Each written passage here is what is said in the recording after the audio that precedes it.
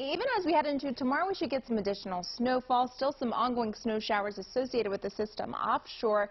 It is nor'easter, and I think between tonight and tomorrow, some areas could still get an additional one to two inches. So right now we have ongoing snow showers in western Baltimore County, into Howard County, Montgomery County, and then also into Carroll County at this point in time. There's the system offshore, so it continues to send in this wraparound precipitation as it spins counterclockwise, and we'll get more of this filling on in overnight and then also tomorrow. Here's a look at Futurecast, 7 a.m. Expecting to see some areas where we could have some steadier snow for at least a brief period of time in the morning and then ongoing snow showers even as we head toward the evening hours. Best chance, especially for areas east on the eastern shore I'm talking about. Otherwise, it looks a lot quieter as we head toward Tuesday night. So the winter storm's going to exit, moving off into the Canadian Maritimes.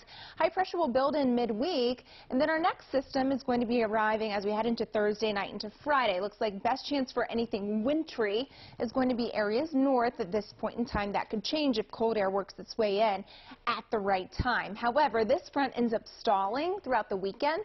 Another area of low pressure rides up along it, and we're looking at another chance for some snow in the forecast as we head toward Sunday. So stay tuned for that, but it's right on time.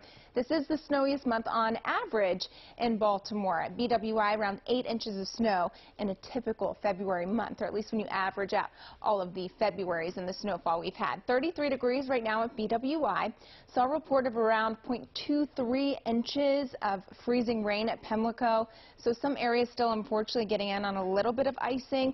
34 right now in Annapolis, 34 in D.C. We're in the 20s north and west. Westminster will be dropping into the 20s in central Maryland overnight. Additional accumulations, anywhere from one to two inches possible, and that's going to be also along with tomorrow. So really the snowfall forecast on track.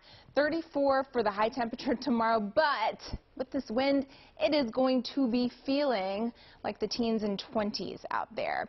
All right, here's a look at the seven-day forecast. So I mentioned to you, we have the chance for potentially some snow later on this weekend, and cold Arctic air building in behind that chance. Take a look at Monday, a high temperature only around 24 degrees.